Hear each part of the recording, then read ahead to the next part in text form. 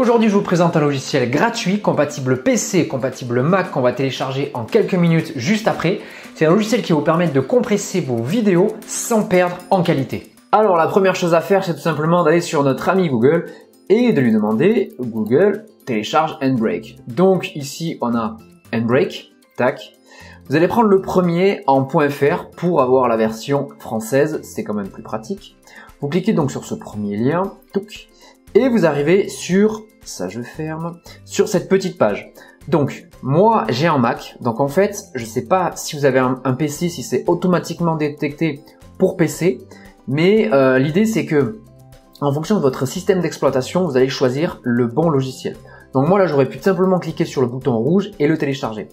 Si dans votre cas ça ne fonctionne pas comme ça, vous cliquez sur autre plateforme et là vous avez Mac, Windows, Linux, euh, autre. Vous choisissez vraiment en fonction de ce que vous voulez. Pour faire simple, je mettrai en description en fait les liens euh, pour Mac, Windows et Linux. Comme ça, vous n'aurez pas à vous tromper. Vous aurez simplement à cliquer sur le lien. Une fois que vous avez détecté votre bon lien, donc moi c'est ici puisque je suis sur Mac, je vais tout simplement cliquer sur télécharger. Voilà, téléchargement, ça charge.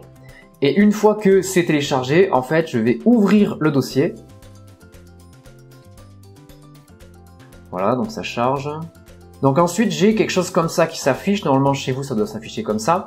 Donc ça, c'est la vidéo que je vais compresser. Je vais vous montrer ça dans quelques secondes. Donc d'abord, vous ouvrez euh, Handbrake. Donc voilà, ça y est, vous arrivez sur le logiciel Handbrake. Il s'est ouvert. Félicitations, vous avez réussi à le télécharger. Donc maintenant, ce qui va nous intéresser, c'est simplement de compresser cette vidéo. Alors, cette vidéo, ça lui fait 3,9 Go. On va dire qu'elle fait 4 Go pour soit plus simple. Et l'idée, ça va être tout simplement de la compresser pour qu'elle soit moins lourde et que ce soit plus facile pour moi de la mettre sur YouTube, de l'envoyer, etc. ou autre. Donc, deux façons. Soit je mets ouvrir une source et je vais cliquer donc ici sur ma vidéo et je mets ouvrir. Voilà, par exemple. Soit je fais glisser, déposer et je vais simplement la mettre ici.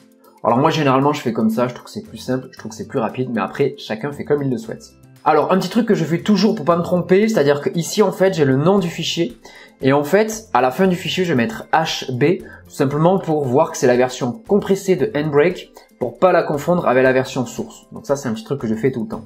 La deuxième chose c'est qu'on va regarder les pré-réglages de compression. Alors moi je fais tout le temps en 1080. Plus en fait vous allez aller euh, vite, donc very fast, plus vous allez vite, plus le, la compression va être rapide, moins la qualité à l'export va être bonne. Donc là, vous allez très très vite, mais vous n'avez pas une super qualité. Et là, vous allez vraiment pas vite, mais vous avez une qualité vraiment top. Alors moi, franchement, je fais tout le temps en 1080p.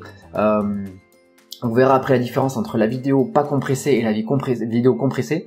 Vous allez voir que la différence n'est pas énorme du tout. Donc je vous recommande de faire comme ça pour que ce soit quand même suffisamment rapide.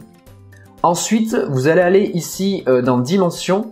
Alors moi en fait c'est une vidéo que j'ai euh, tournée en 4K. Donc si je voulais euh, compresser une vidéo en 4K mais qu'elle reste en 4K, j'aurais tout simplement cliqué ici sur 4K.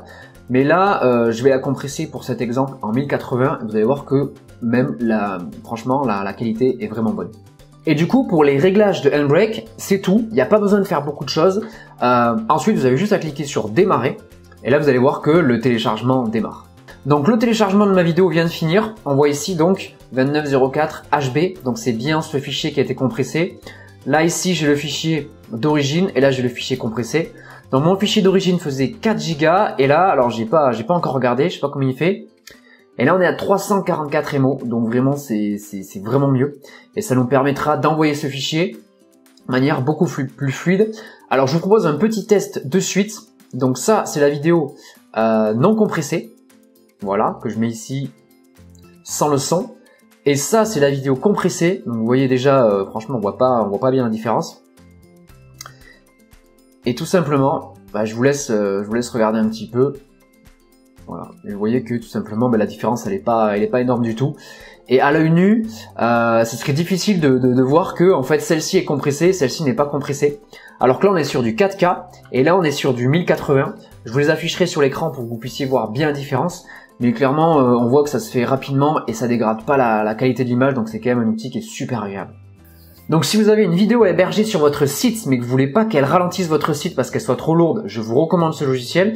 Si vous souhaitez publier une vidéo sur vos réseaux sociaux sans qu'elle prenne des heures à charger ou qu'elle soit pas euh, téléchargeable sur la plateforme, je vous recommande Handbrake.